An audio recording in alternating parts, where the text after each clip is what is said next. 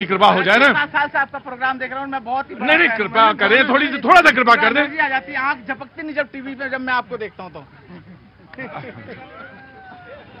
प्रतीक जी आपको मैं कहना चाहता हूँ देशवासियों से कि देश को छिहत्तर साल के करीब आज़ाद हुए हो गए। पहली बार ऐसा हुआ है कि जो हम में से निकल करके आया है किसी राजकुमार के यहाँ पैदा नहीं हुए नरेंद्र मोदी जी। मैं आज ये कह सकता हूँ मैं उत्तराखंड देवभूमि से आता हूँ उत्तराखंड की पाँचों सीटें बड़े मार्जन से। भारतीय जनता पार्टी जीत रही है और आने वाले दिनों में नरेंद्र मोदी जी इस देश के तीसरी बार प्रधानमंत्री बनेंगे और एक ऐसा इतिहास बनेगा मैं आज बस मुसलमानों से एक बात कहना चाहता हूँ। जैसे वंदे मातरम के ऊपर ये, अभी हमारे भाइयों ने वंदे मातरम गाया, इसका अर्थ ये है कि, ए माँ, हम तेरी परिक्रमा करते हैं, तुझे सलाम करते हैं। जबाने यार मन तुर्की के मन तुर्की नमी दानम बस मैं ये चाहता हूँ, प्रतीक जी, जैसे आप जनता और सरकार के बीच में आप उनकी आवाज़ बने हैं पुल का काम करते हैं। आप इसी तरह से चहचहाते रहे और खिलखिलाते रहे और नरेंद्र मोदी जी ये चाहते हैं 140 ओके, ओके, thank- 140 करोड़ का सपना ये है हर चेहरे पर हर हर घर खुशहाल हो हर चेहरे पर मुस्कान हो। आमीन। ये आखिरी लाइन के लिए आमीन आमीन। सुम्मा आमीन। जी। और उद्योगपतियों से चंदा लेकर के लोग रोज खाते रहे उसके ऊपर भी पूछ रही है मैंने तीन बार चंदा के ऊपर सवाल करा है। भारतीय जनता पार्टी से ना ट्विटर के ऊपर डाला जाता है ना सवाल का जवाब दिया जाता है। और Bharatiya Janata party electoral bond के चंदे पे जवाब क्यों नहीं दे रही है? ये सवाल करना चाहिए। आराम से आराम देखिए सवाल पूछा जाता है और बिल्कुल सवाल पूछा जाना चाहिए। जी जी जवाब देंगे। जी। मैंने कहा कांग्रेस से भी पूछ लो 1400 करोड़ कैसे मिला? टीएमसी से भी पूछ लो 1400 करोड़ कैसे मिला? डीएमके से भी जाके पूछ लो 600 करोड़ कैसे मिला? अरविंद केजरीवाल से पूछो चौरानवे। जी जी जी। बच्चों की कस्में खाई थी कि कांग्रेस के साथ कभी गठबंधन नहीं करेंगे तो फिर अब क्यों कर रहे हैं? अरे छोड़ दीजिए अब आप आप अब अब देखिए कुछ कम राज रुकिए। पगलाए जा रहे हैं एकदम।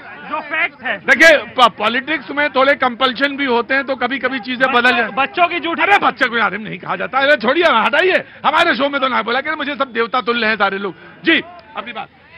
देखिए मैं यूँ ही नहीं कह रही कि पीआर के जैसे विपक्ष काम कर रहा है। अभी रिसेंटली संजय राउत जी ने उद्धव ठाकरे के मंच से औरंगज़ेब की तुलना माननीय हिंदू हृदय सम्राट सनातनी हृदय सम्राट विश्व में सबसे प्यारे प्रधानमंत्री जो माने गए हैं अभी तक उनके विषय में बोला हाँ कल उन्होंने कहा कि औरंगज़ेब पैदा हुए गुजरात में और प्रधानमंत्री। आप ये बताइए कि जो गुजरात में पैदा हुए। जो सनातन का झंडा जो भारतीयता का झंडा जो राष्ट्र का झंडा पूरे विश्व में लहरा रहे हैं उनको आप उनको उनको तिरंगा तिरंगा तिरंगा इतना ऊँचा है इतना ऊँचा है कि उसको उठाने जिन्होंने बावन साल तक नागपुर के कार्यालय में तिरंगा झंडा नहीं फहराया। अगर आज वो अपने सीने में तिरंगा लेकर के चलते होते तो किसी दूसरे झंडे को उठाने नहीं पता है कि तिरंगा केवल और केवल सरकारी भवनों पे फहराया जाता है। पहले जाके थोड़ा पढ़ ठीक आराम से आराम से। लेट हर कंप्लीट वो बहके हुए नौजवान हैं। जो भारत में कई जगहों पे जब पाकिस्तान के झंडे लगते हैं तो मुँह में सिलाई करके बैठ जाते हैं। तब क्यों नहीं बोलते? राइट ठीक बीजेपी का था जवाब। इलेक्टोरल बॉन्ड पे कह रहे हैं कि इनके नेता भी कह रहे हैं कि वसूली हो रही थी। अरे आपको भी बताना पड़ेगा आपने भी छह हज़ार हैं जवाब नहीं सुन पाएँगे। सुप्रीम कोर्ट के अंदर आप जवाब नहीं सुन पा रहे यही सुप्रीम कोर्ट के अंदर बस यही करेक्टर यही यही है। देख लो सब यूनिक नंबर कोई जवाब सुनेंगे नहीं। सुप्रीम कोर्ट ने मांगा है। सुप्रीम कोर्ट ने बोला तो you have to give you have to give you have to give of India क्यों नहीं दे रहा है? अरे रहम करिए सब चीज़ आएगी आएगी आएगी। है। आपको बताना पड़ेगा कि 1400 करोड़ की हफ़्ता वसूली कहाँ से की? जी। आम आदमी पार्टी। देखिए मैं भाजपा की तरह धर्म जात की बात नहीं करूँगा। मैं कुछ आंकड़े की बात करता हूँ रोज़गार की बात करी। पिछले सात साल के अंदर देश में लघु मझोले उद्योग 50 परसेंट बंद हो गए जिससे बेरोजगारी बढ़ी। यही आंकड़ा है कि उत्तर प्रदेश के अंदर एक पियोन की नौकरी निकली चपरासी की नौकरी के अंदर तिरानवे हज़ार युवाओं ने अप्लाई किया। उनमें पीएचडी के लोग थे उसे पोस्ट सर मेरा नाम अभिषेक सिंह है मैं खुद डिफेंस से हूँ। मैं यही कहना चाहता हूँ कि पहले जब मैं अभी पोस्टेड जम्मू में हूँ श्रीनगर में तो जब कांग्रेस की सरकार हुआ करती थी आर्मी में आर्मी में हूँ मैं पाँच साल से जॉब करता हूँ मैं। आपको लगेगा नहीं लेकिन मेरे पास आईडी कार्ड है। कोई बात नहीं बेटा बस मैं तुम्हें तुम्हें निगाह डाल लेता हूँ तुमने कह दिया मैंने मान लिया। बिल्कुल। हाँ। तो मेरा काम है निगाह डालना। बिल्कुल। कॉन्सेंट्रेट टू मी मैं यही कहना चाहूँगा कि जो बीजेपी ने किया है पहले क्या था? 370 से पहले। हमारे पास अप्रूवल नहीं हुआ करती थी।